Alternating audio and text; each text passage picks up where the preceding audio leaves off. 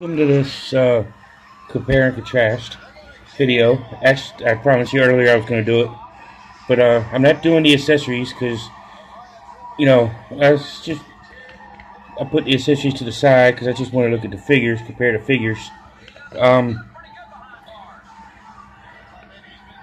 but uh, this is the 25th anniversary Snake Eyes from the first edition. Because all he comes with is a Uzi, a pistol, and a uh, and a knife, which he could store all his weapons. He could store the knife there, the pistol right there, and carry the Uzi in his hand. Uh, but very uniquely disguised with the goggles, and then you've got the retro um, Snake Eyes. We've got the visor from. Uh, the other 25th anniversary Snake Eyes, which I actually have right here next to me,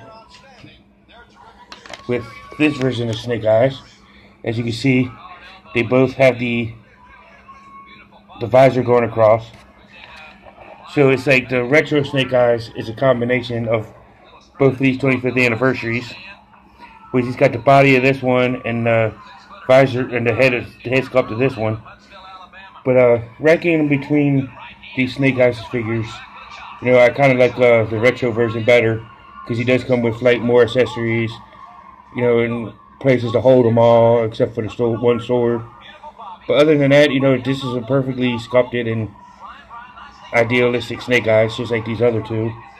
Um, but I will take this one, the retro version, over the other two any day. But uh, that's my comparison between the two. Thank you all for watching and join me in the next video.